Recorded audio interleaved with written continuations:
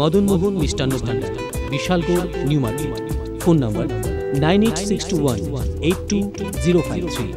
গোটা রাজ্যে নারী রাজ্যে সুরক্ষিত নয়, আবারও ফুটে উঠল প্রত্যন্ত অঞ্চল পদ্মবিলে। জানা গেছে, বিয়ের প্রলোভন দেখিয়ে স্কুল পড়ুয়া চোদ্দ বছরের নাবালিকা মেয়েকে তুলে নিয়ে নিজ বাড়িতে শাখা সিঁদুর পরিয়ে নিজের স্ত্রীর মর্যাদা দেওয়া হয়। ঘটনা পানিসাগর মহকুমার পশ্চিম পদ্মবিল এলাকায়।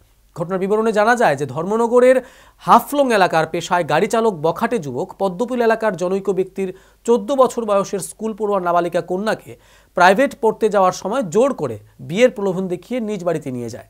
বখাটে যুবকটি পূর্বে থেকেই বিবাহিত এবং ওর দুটি কন্যা সন্তান রয়েছে তা সম্পূর্ণ গোপন রেখেছে মেয়েটির কাছে। এই ঘটনার আঁচ করতে পেরে নাবালিকা মেয়েটি তার বাবাকে ফোন করে মেয়েটি বাবার সাথে নিজ বাড়িতে ফিরে আসে। এই বিষয়ে আঠারোই ডিসেম্বর পানিসাগর থানাতে লিখিত অভিযোগ করা হয়। অভিযোগ মূলে পানিসাগর থানার পুলিশ অভিযুক্তকে আটক করে পানিসাগর থানায় নিয়ে আসে। এই বিষয়ে মেয়েটির ভূমিকা নিয়েও প্রশ্ন ওঠে। ঘটনাটি বর্তমানে তদন্তাধীন।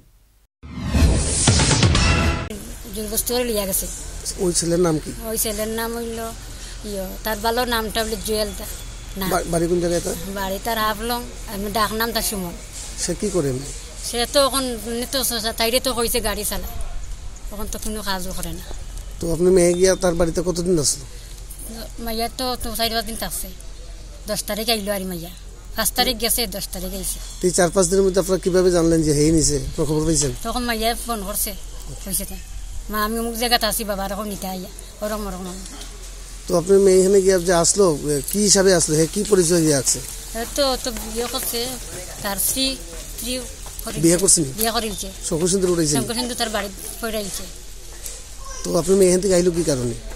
তো তার মা তাই তখন জানতে পারছে তার বউ আছে বাচ্চা আছে দুইটা। এই কারণে জানতে পারিয়া তারপরে তারে কইছে আমি থাকতাম না।